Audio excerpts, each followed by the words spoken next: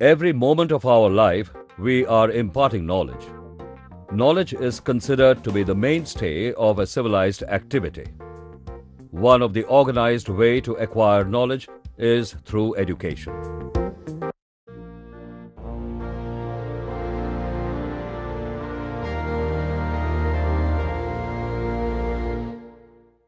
Like today, modern education, most of our universities are in big cities around the world. Today's education has become actually big business, unfortunately. Mm. It is a commodity that one is selling, and the whole spiritual dimension is actually either minimized, forgotten, or outright rejected, actually.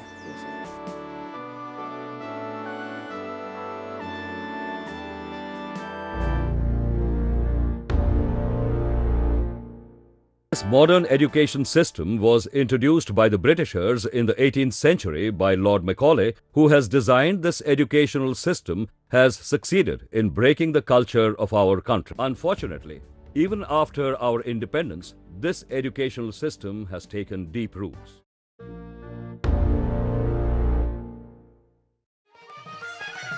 It is an established fact that all ancient civilizations based on Vedic scriptures had educational systems which were time tested and holistic in There are five basic concepts or principles on which Vedic knowledge, Vedic education is based.